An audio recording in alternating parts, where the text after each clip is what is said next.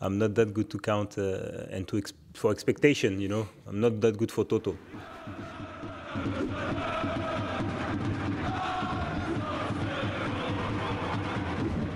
Ja, ik denk uh, een normale eerste helft. En goede kans nog van Kramen, maar twee goede goals van ons.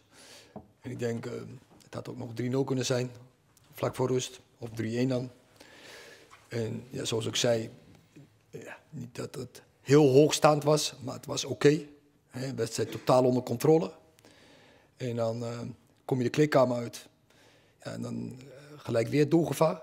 En dan opeens is het 2-1. En heel snel daarna is het 2-2. Ja, en dat kan natuurlijk niet. Hè. Dat moeten we onszelf uh, ernstig verwijten. Were you like a little bit nervous at the, at the end of the game? That you, whether you would score or not? No, no. Since I since I'm since I'm playing here, you know, I'm never really nervous uh, at the end of the game, even if it's a draw or yeah, even if it's a draw or some other result. You know, I really I'm fully uh, confident about uh, my teammates. De manier hoe die tegengoals tot stand komen, nou, dan recht de ploeg wel weer de rug en voeren ze tempo op en gaan ze op jacht naar de naar de 3-2. En er staat veel spirit in en dat was ook goed om te zien.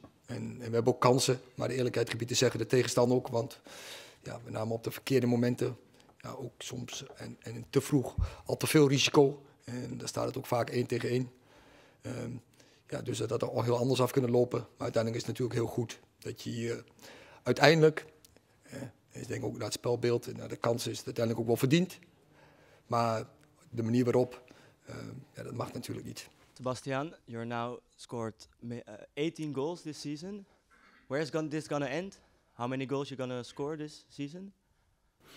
Do you think? Uh, I'm not that good to count uh, and to ex for expectation. You know, I'm not that good for Toto.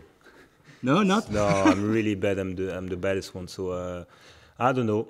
I don't know. Um, the only thing I know is that uh, I cannot hide myself to. Uh, yeah, I need to. Uh, I need to finish top scorer. You know. Er staat nog, uh, nog twee punten voor op PSV. Maar baar dit je nou zorgen? Want het, het gaat niet meer zo soepel als het ging. Natuurlijk de nederlaag bij Go Ahead Eagles. Nu, nu deze wedstrijd.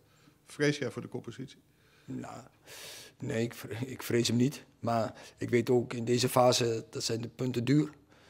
En dan moet je er echt voor strijden. En ja, het is pure uh, lichtzinnigheid. Hè? Ik denk dat dat een beter woord is dan arrogantie.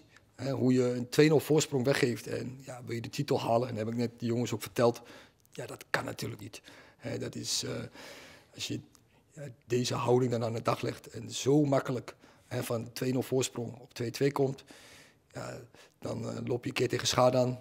Nou, laat dit een wake-up call zijn, mag niet meer gebeuren. Tadic had missed some of penalties, and now it's the last minute. There's a penalty. You are a very good taker.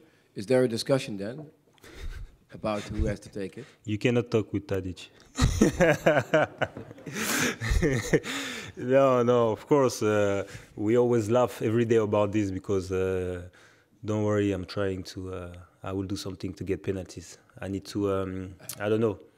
I need to find a way to uh, to corrupt him, to get uh, to get something. Now, he's a great taker. Uh, he missed two penalties, unfortunately, but everyone know uh, in the dressing room that he's an unbelievable um, winner. You know, and he cannot stop with two penalties and say, "Oh, I should leave it for other." No, no, no. He will keep scoring because he's top of the list. He's the captain. He's important